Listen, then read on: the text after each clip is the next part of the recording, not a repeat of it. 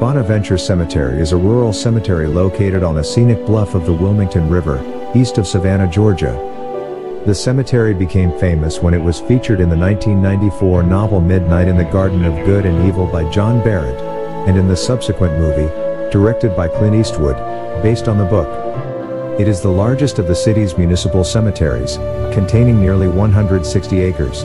The cemetery is located on the former site of Bonaventure Plantation, originally owned by Colonel John Mulryne. On March 10, 1846, Commodore Josiah Tattnall III sold the 600-acre plantation and its private cemetery to Peter Wiltberger. The first burials took place in 1850, and three years later, Peter Wiltberger himself was entombed in a family vault.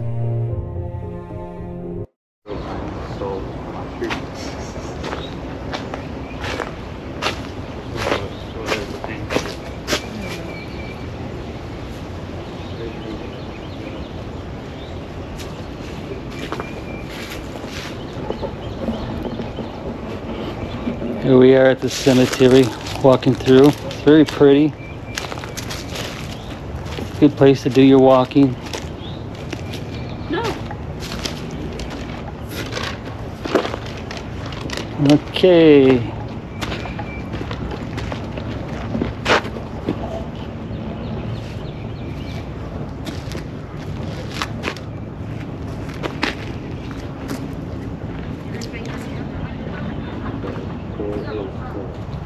Lose grandma? Doesn't pay for it. Where did Grandma go? She like, doesn't pay for the tour because tour is tour. We can do. We have tours at home.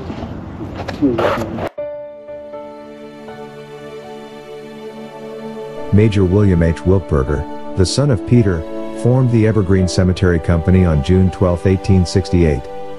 On July 7, 1907 the city of Savannah purchased the Evergreen Cemetery Company, making the cemetery public and changing the name to Bonaventure Cemetery.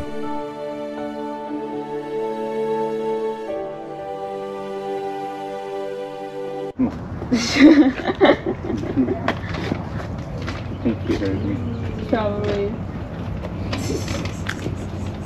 This one's from the seventeen hundreds. Oh, wow. It keeps getting older and older.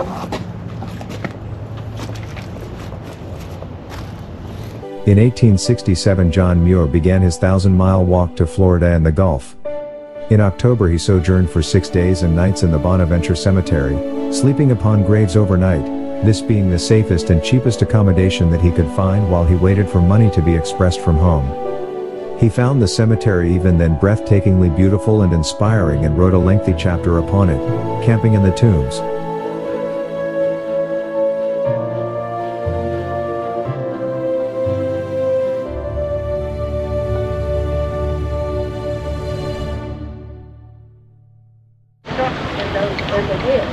No men are allowed in the women's section the, of the hospital. The life insurance exists back in the 1800s. Yeah. So wait, that means their later family added it on. Mm. Imagine doing.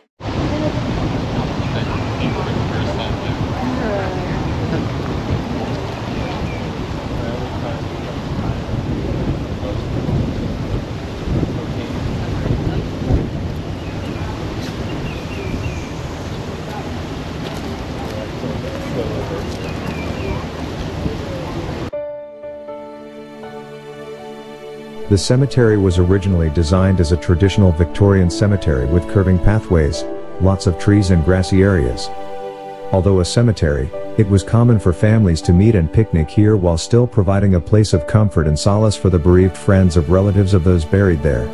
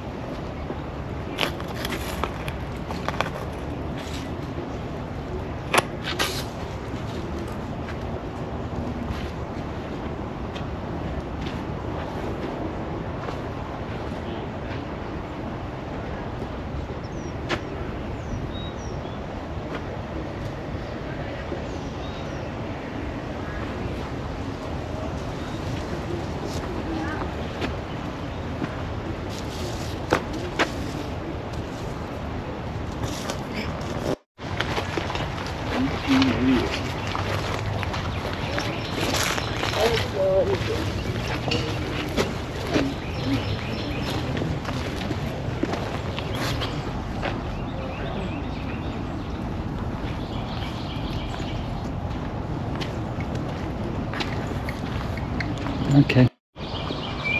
We got it set up working at home.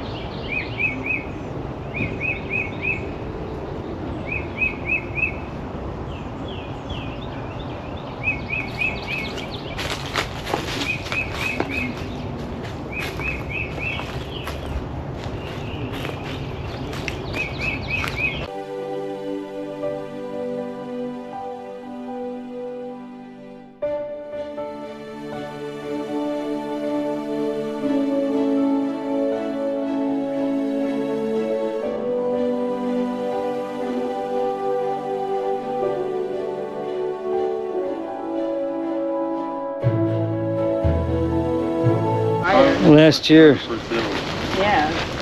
Do you even have a passport? No. I do, Grandma. I don't know where it is. We're supposed to go to Brazil.